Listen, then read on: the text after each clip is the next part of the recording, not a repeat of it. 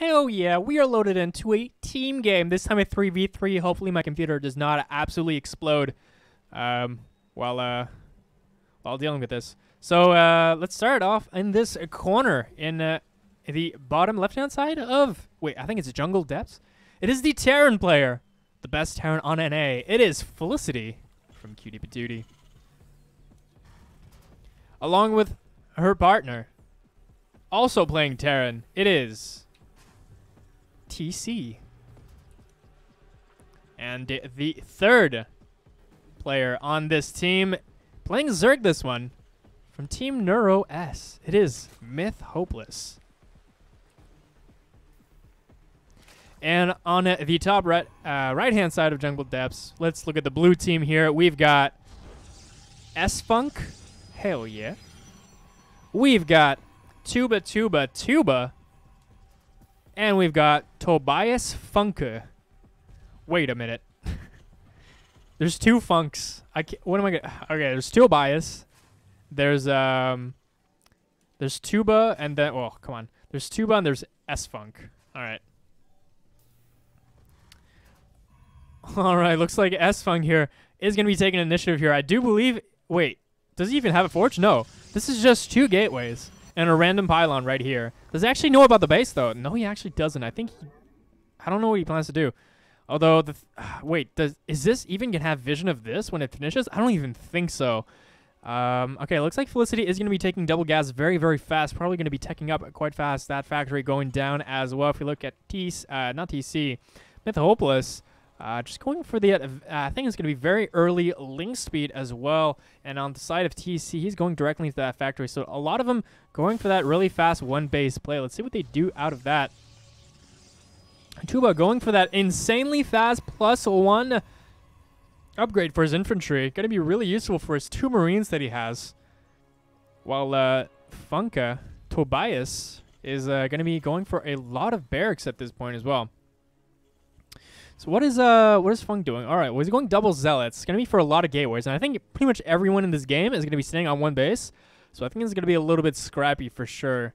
Um, yeah, the pylon does not. well, the pylon sees the hatchery now, but what can the pylon even do? Ooh, double plus one upgrade. So they're both getting plus one. So plus one for Tuba and plus one for Tobias. Any forge coming down for Funk as well. Do you have any hidden bases? No, no, it's just overlords. Let's not get ahead of ourselves. Ooh, what is that? Hello? Is that like a flying jellyfish? Look at this smooth, smooth camera movement. I'm doing this manually. Hell yeah. That kind of looks like a Metroid with like the goopy stuff on the top.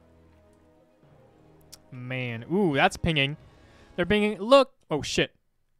I just pressed back instead of V. It's like, look, there's a base here. Hold on, it's just... Go forward. I do believe he does ping eventually. Well, actually, no, he probably doesn't re-ping again.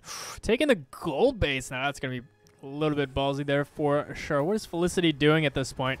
Felicity going into the factories. I believe this is where, that's the point in the Discord call where she's just, where she just goes like, uh, guys, I'm going to make tanks. And that is all. End of the sentence right there. And that's her game plan for the rest of the game. So actually not even. She's going for the dreaded Cyclone build. She hates Cyclones. That's why she's going to make them. Finally, Myth going to be spotting this pylon.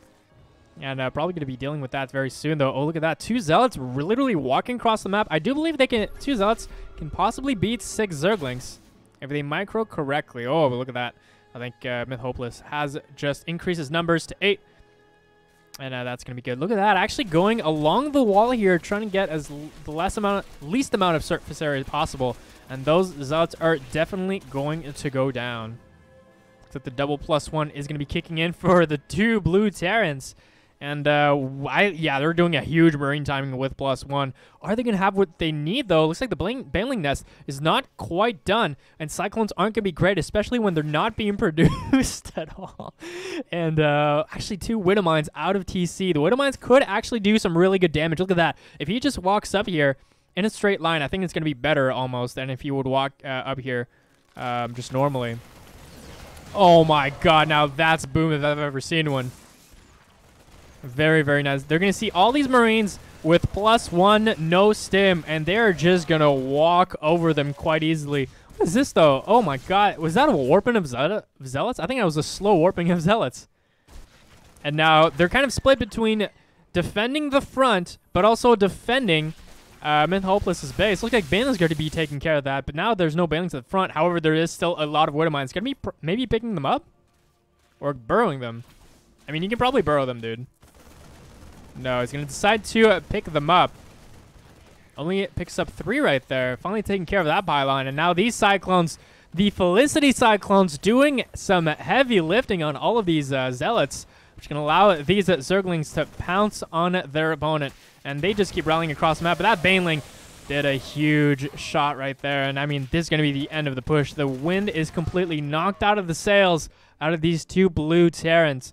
And uh, I think they're going to be waiting for that armor upgrade to do finally the plus one armor upgrade. No stim, no combat shield timing in 2v2s, I mean in 3v3s that we see so often. And I'm behind this. S-Funk going for Blink as well. And the factors are finally coming down for our Terran players. And, uh, ooh, nice wrap around here by the Zerg player. And he's just literally warping the Banelings in their face. Does not give a heck. And uh, I, he, uh, this is almost a flex at this point. But no, he does know that he does uh, have to cancel them eventually. Is he actually going to be able to cancel this natural base? So far, this has been kind of a scrappy game in the sense that uh, it's been just low eco so far, and the Banelings doing some nice connections so far, taking care of those Marines. Now these Zerglings are going to be easily taking care of uh, those Stalkers, literally warping.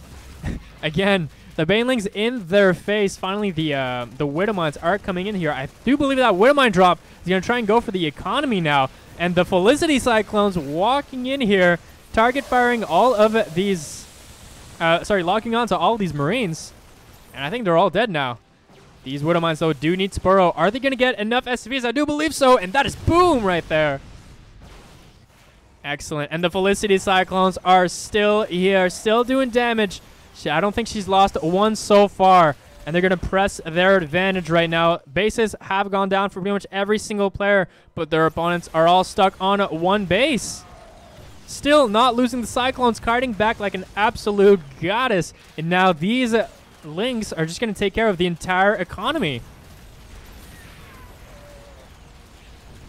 Man, he's trying to make it work with the Stalkers, but there's not enough production out of the Terran players.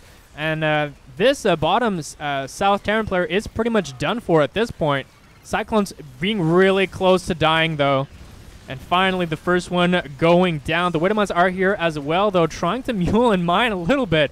But, I mean, this Terran player is pretty much done. They do have the Zealots, they do have Marines, and some Hellions, so they might be able to actually deal with this in the end. But three more, four more Cyclones are here. I think more Cyclones coming across the map as well as more, as well as more Widowmines. And this combination of Cyclone, um, Ling, and uh, Widowmine is proving quite effective against their opponent right now. Do they have the defenses necessary to actually hold this? Looks like no. I do believe S-Funk is uh, not even full saturation on his main. Neither is uh, Tuba Tuba. So uh, I think there's quite the skill difference here. And finally, Tobias is leaving that game. Walking forward, locking onto those Marines with the Cyclones, and this is going to be another huge Widowmine shot. Man, all those Marines dying again. It Looks like they don't even know the principle of A move. They, I think they tried to right-click on those Cyclones, but that didn't quite work. And uh, now he's going to be dropping the Widowmines inside their main. And that's going to be even more dead SCVs. Although they are on cooldown, though. Looks like on the left side, the uh, the Zerglings are wrapping around those Stalkers. I do believe this is going to be over very, very soon. Hidden base here out of Myth Hopeless, just in case. Just getting a backup plan. That's another Baneling here. Doesn't have a plus two, but, I mean, that's good enough for me in terms of explosions. And uh, I do believe that I... Looks like, uh, yeah, S-Funk was the last one standing, and that's going to be GG. And Team Cutie Patootie plus Myth is going to be the winner.